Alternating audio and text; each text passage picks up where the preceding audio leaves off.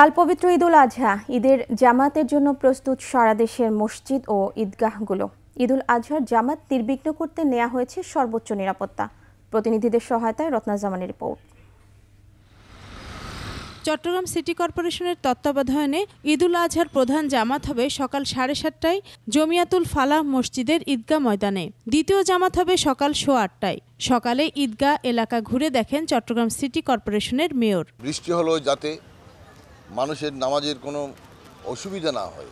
মুসল্লিরা যাতে কোনো অসুবিধার সম্মুখীন না হয় সেই ব্যবস্থা আমরা গ্রহণ করেছি। এবং মুসল্লিরা যাতে এখানে খুব শান্তিভাবে, স্বস্তিভাবে নামাজ আদায় করতে পারে, ঈদের নামাজ। সেই ব্যবস্থা আমরা করেছি। ঈদে চট্টগ্রাম মহানগরীতে অপ্রীতিকর ঘটনা এড়াতে চার স্তরের নিরাপত্তা ব্যবস্থা থাকবে বলে জানিয়েছেন Chittagong metropolitan police commissioner Krishnapada Roy. দুপুরে নগরীর দামপাড়া জমিয়তুল ফালা ঈদগাহ মাঠ পরিদর্শন শেষে একথা জানান তিনি। চারতরের একটি নিরাপত্তা ব্যবস্থা আমরা গ্রহণ করেছি। আজ আমাদের পোশাকি পুলিশি ব্যবস্থা থাকবে, আমাদের গোয়েন্দারা কাজ করবে, আমাদের বিভিন্ন স্পেশালাইজড ইউনিট আপনি দেখেছেন ডগ স্কোয়াড কাজ করেছে, আমাদের সোয়াট এবং বোম ডিসপোজাল স্ট্যান্ড বাই থাকবে। বরিশাল সিটি কর্পোরেশনের তত্ত্বাবধানে ঈদের প্রধান জামাতের প্যান্ডেল প্রস্তুত হচ্ছে। হেমাতুদ্দিন ঈদগাহ মাঠে সকাল আটটায় হবে প্রধান জামাত।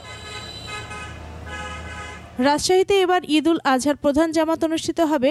হজরত শাহ মকদুম রাদিয়াল্লাহু কেন্দ্রীয় ঈদগাহে সকাল সাড়ে সাতটায়।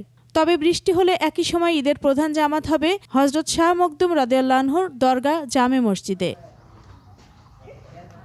সিলেটে এবারও ঈদুল আজহার প্রধান জামাত হবে ঐতিহাসিক শাহী ঈদগাহ ময়দানে সকাল আটটায়।